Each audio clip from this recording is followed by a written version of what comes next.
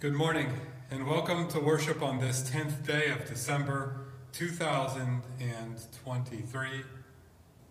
Thank you for joining us here at St. Stephen Lutheran Church of Stow, Ohio.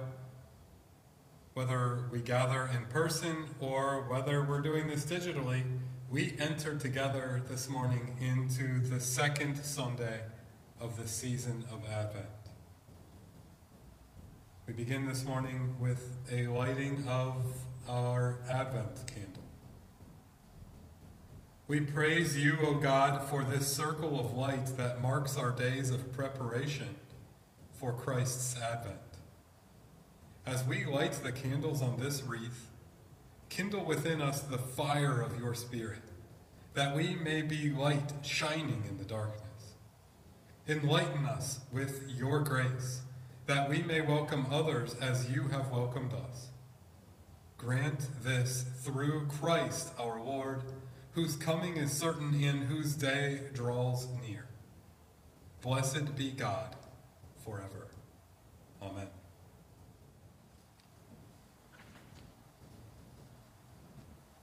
We begin this morning with confession and forgiveness.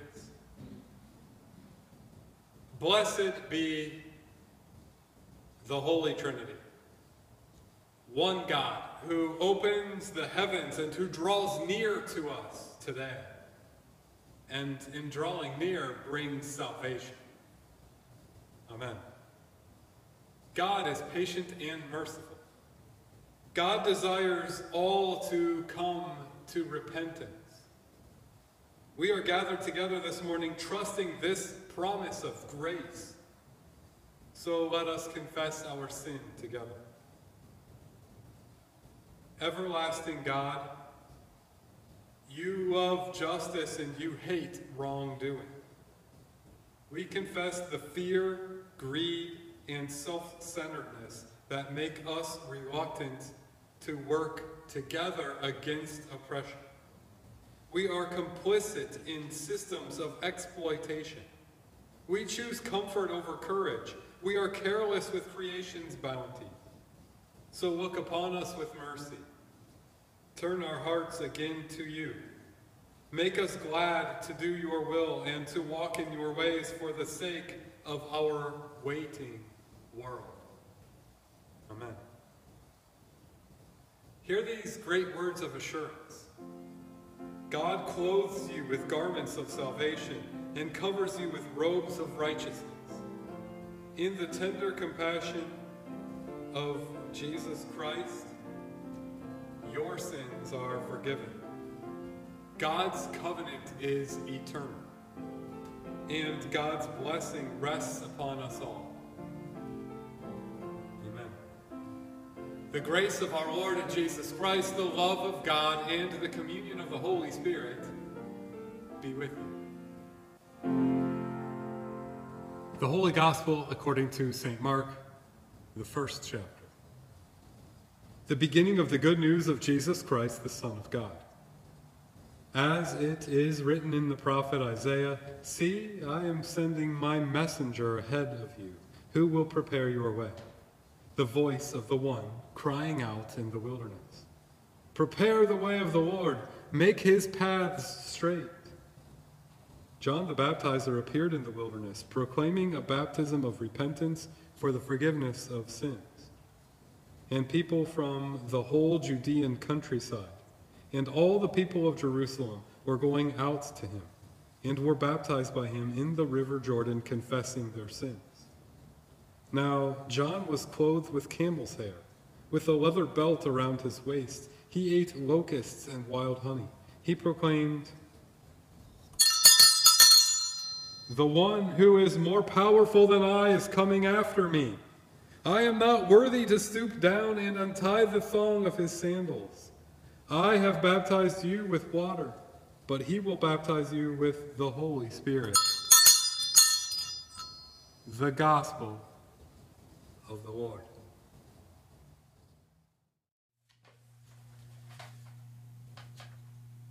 Hey, let's talk telephone.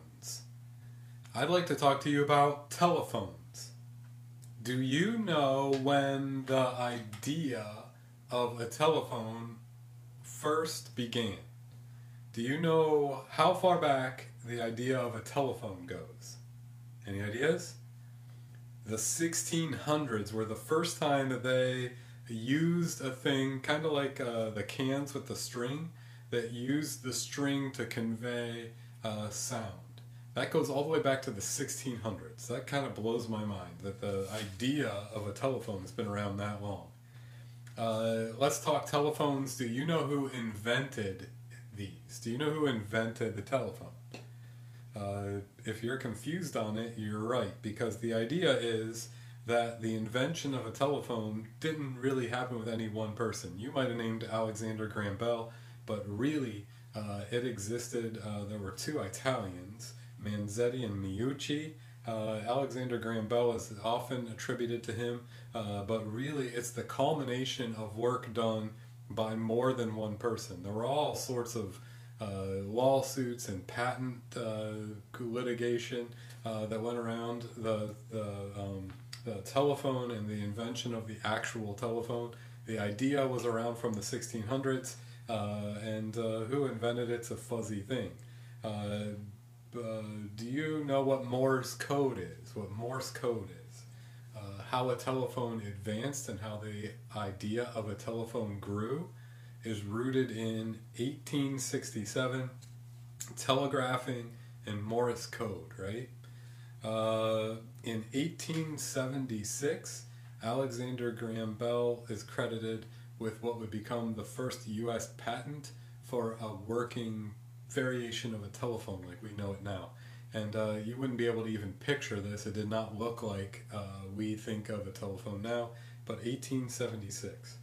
Do you know when the first United States coast to coast telephone call was made? Any ideas?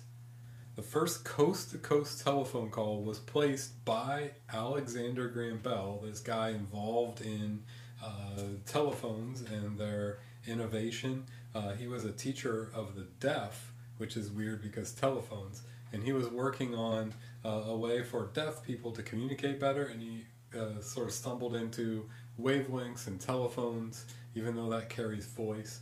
And the first phone call coast to coast was placed by Alexander Graham Bell in 1915. Um, the first transatlantic telephone call, 1927. The first trans-Pacific telephone call, 1934. And uh, I can't say that I understand telephones and how this works.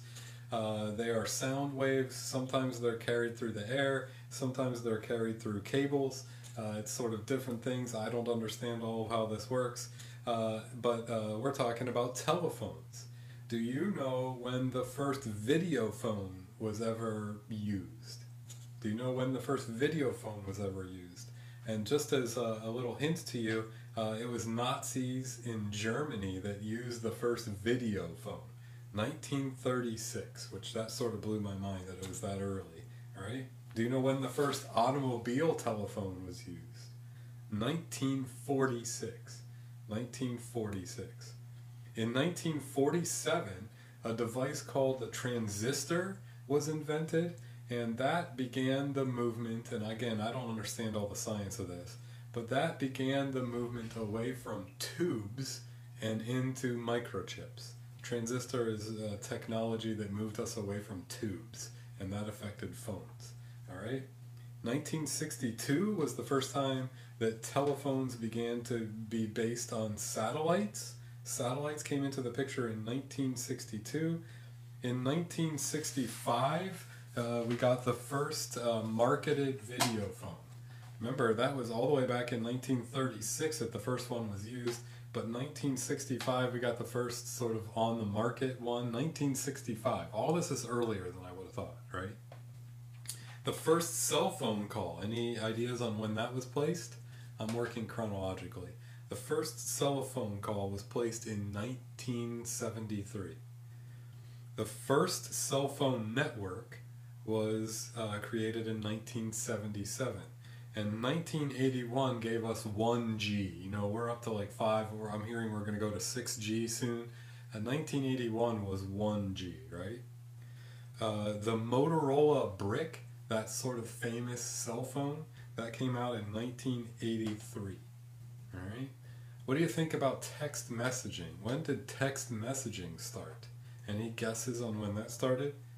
Well, the first text message was sent in 1992. The first smartphone became available to the public in 1993. Text messages were actually before that came out, right? Yeah. Uh, in 2003, phone calls became internet based. So, for example, you could call Europe or across the world, uh, and it would not have long distance fees because it was using the internet instead of telephone lines, which had those long distance fees attached to them. And now, into 2023, do you remember what network we're on now? 1981 was 1G. Now 2023, we're on 5G now. And so this is a little bit a brief history, not scientific because I don't know any of the science, of the telephone. I wanted to talk to you about telephones. And uh, the reason why I wanted to do this is to just uh, burn off or waste a couple minutes of your life with, with uh, semi useless facts, right? No, not really. Uh, I wanted to enter into the idea of how faith and ultimately the idea of how God works by thinking of the progression of a telephone. Uh, our lives are filled with these invisible ideas or innovations. They are like a splinter in our mind, they're uh, a notion in our soul. And these innovations and these ideas develop, they blossom, they grow, they become something over time. And that was the idea of the telephone there, right? That it is not really the work of any one person, but it's people taking up the story and the technology of a telephone and that in taking it up each in their own place and with their own experience, developing what we have to this day. Can you remember uh, the first time you ever made a phone call? Can you remember the, the phone in your house growing up? And are you holding a cell phone in your hand to watch this? Uh, you know, that's really changed. And what I'm thinking about is not burning off minutes of your life, but what I'm thinking about is the idea of ideas and how they progress. And this is actually a sort of religious idea Religion is an idea, and it's even sort of a technology and a way to communicate that is an idea and that it invites in innovation and moves uh, from thing to thing and is a process and is developed and it is a thing that God is working out. And so, why I wanted to spend your time thinking about the telephone is to just point out that's a big example of an idea progressing over time. But what about what if we thought about ideas and how they move, and maybe not as clearly or as large as telephones? We thought about our own lives as the lives in which ideas are a part of it, and you and I are part of the witness of these ideas, the chain reaction of them that God is at work preserving and keeping and creating the cosmos, and God is in relationship to you and I, and that there are ideas inside of us that continue to develop, and this is a thing that we can witness to and speak to. So I wanted to start by thinking about phones because that's a clear way, a large way that an idea progressed, right? And I wanted to move from that really clear thing into the more sort of theological, faithful, conceptual thing that you are an idea. And within you rests notions and ideas and possible innovations and all sorts of things. And that who you are is a sort of processor, and that God includes us in God's work by these ideas that we process and help move along. It may not be as obvious or clear or as large as a telephone, but I wanted you to think about ideas and how they sit within us, and how the testimony of faith is the development and the sharing of ideas and their advancement throughout time. And I even wanted you to think about how you are a part of God's work uh, doing that even now and who you are is important, because in God's kingdom, uh, these ideas and these innovations rest uh, within us, and we are part of advancing the idea of faith and creation and God's kingdom. Proclaiming the gospel is its own sort of innovation and development and process. In today's gospel, uh, we hear from the first chapter of Mark. And in Mark, uh, we hear God's word uh, beginning. And that beginning word is right in the text. It begins and it comes into the wilderness as an idea that just sort of comes.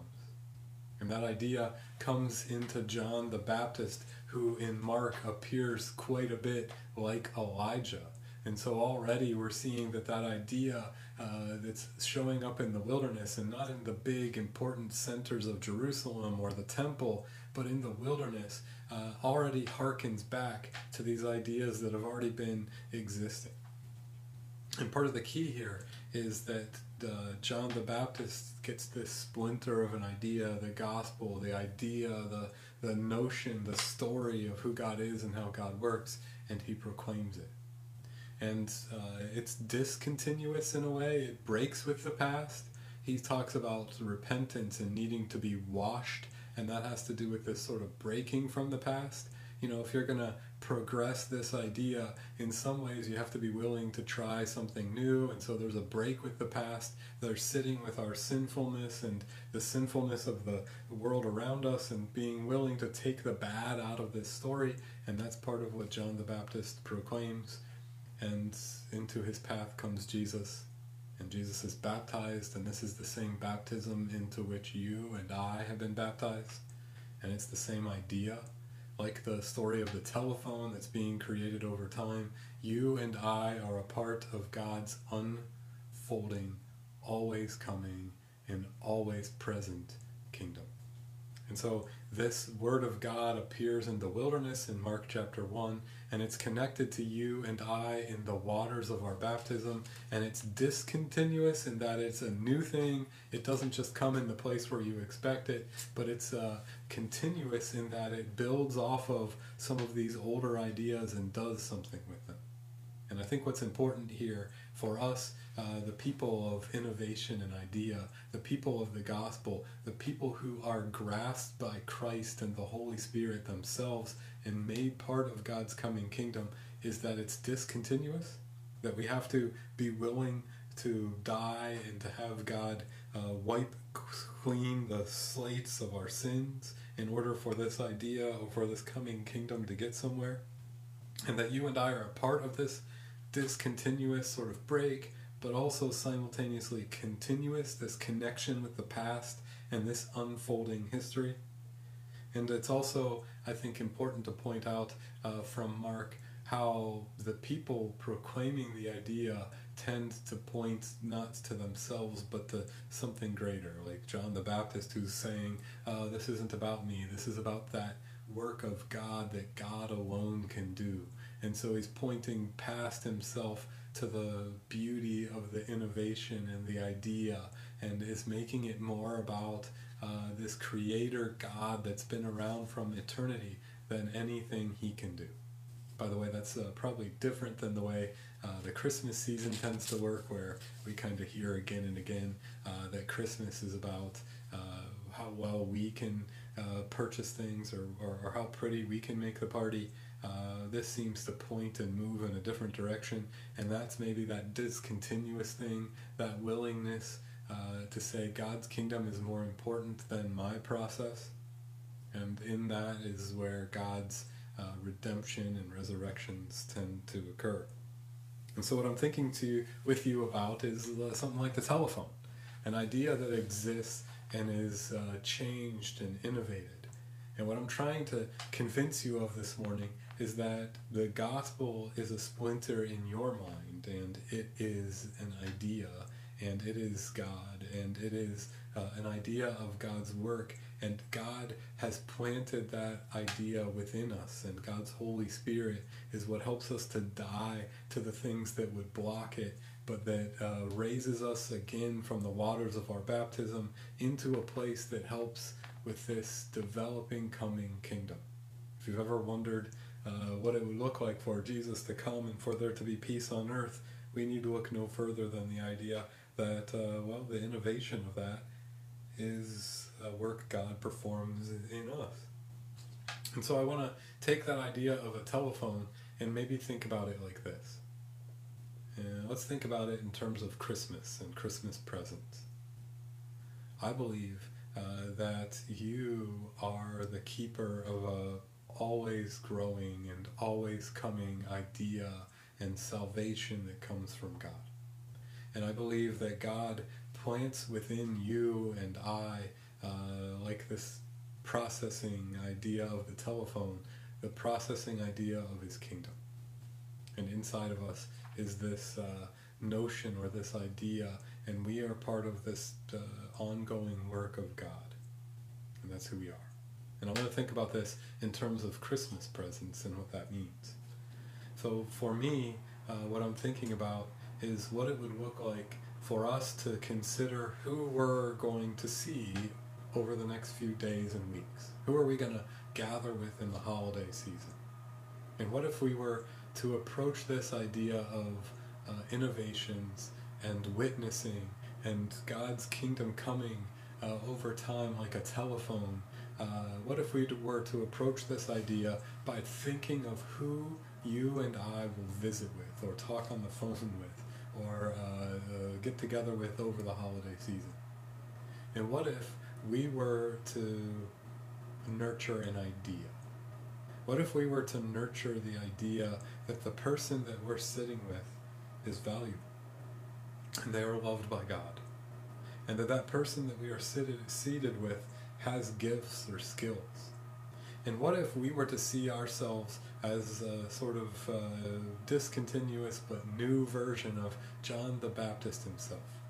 And what if we were to look with the people that we were going to gather with and think, oh, you have this hobby that could be used for so many good things.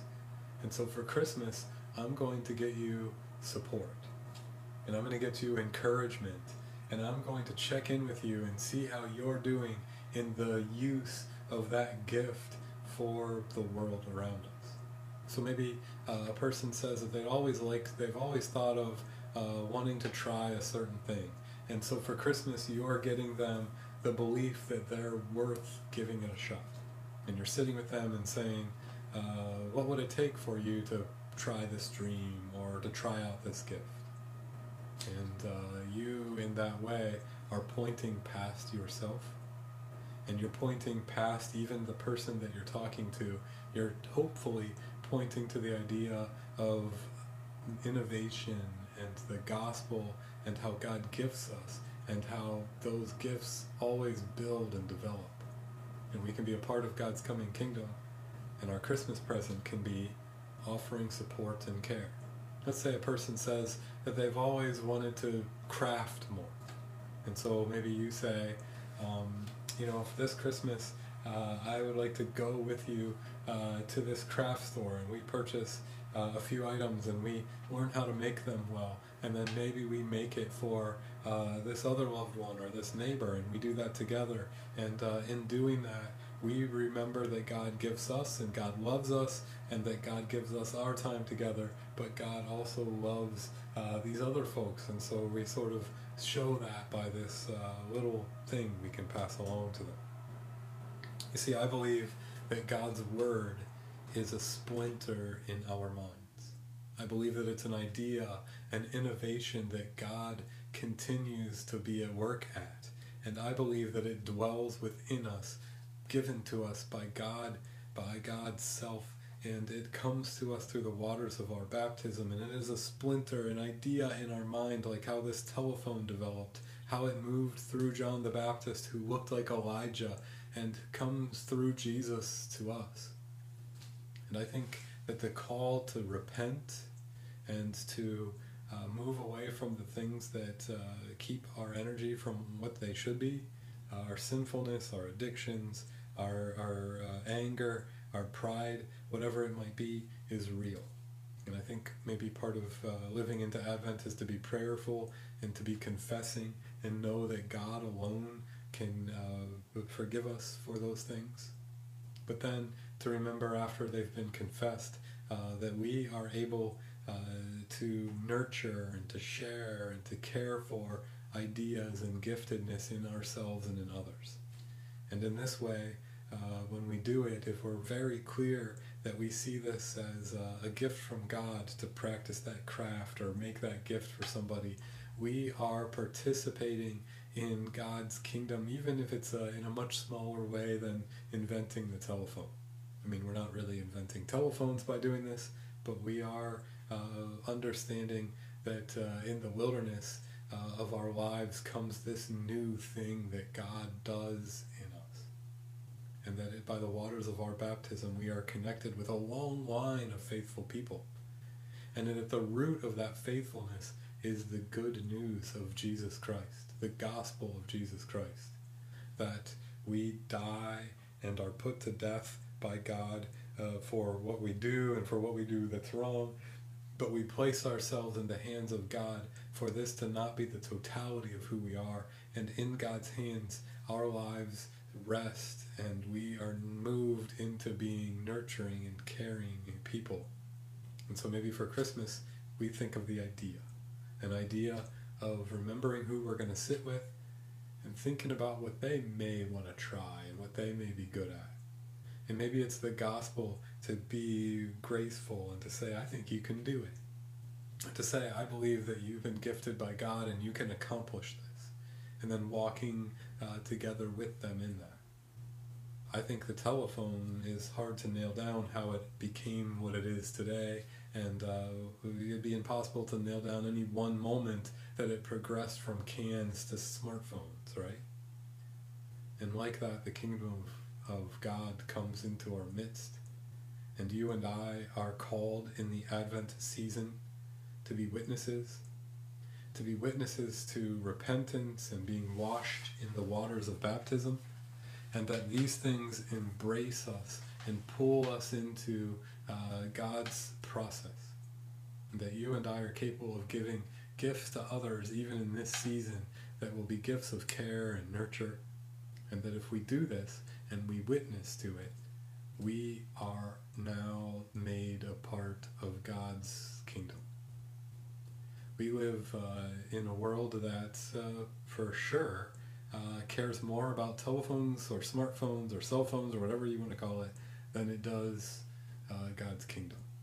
But maybe you and I can be a part of witnessing to who God is and that idea. And maybe you and I can be a part of God's innovation and God's kingdom as it comes.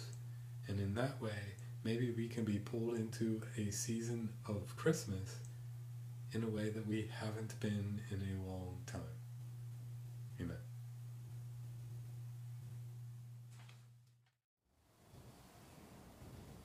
Let us pray.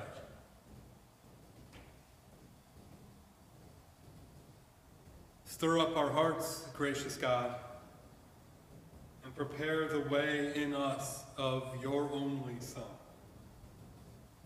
We know as this world groans in darkness, that it is by his coming that we see the light. We ask, gracious God, that you would strengthen us to find even small ideas to be a part of the process of your kingdom. That you would free us by your Spirit to serve you with purified lives. We ask this, having confessed, having gathered around your word, having been promised your Spirit in our baptism, we ask this in confidence before our Lord Jesus Christ, who is our Savior and who is our Lord.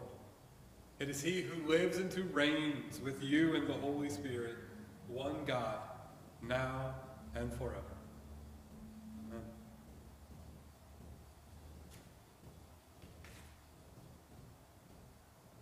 The Lord bless you and keep you. The Lord's face shine on you with grace and mercy. The Lord look upon you with favor and give you peace. Today is the second Sunday of the season of Advent. And yes, we've come before God to repent and ask for forgiveness, to remember our baptism and our being washed from our sins and by God's grace into God's kingdom come together this morning to think of ways that we can be part of that kingdom. This is who we are in this season, and this is how God makes God's way into our world. Stay safe. See you soon.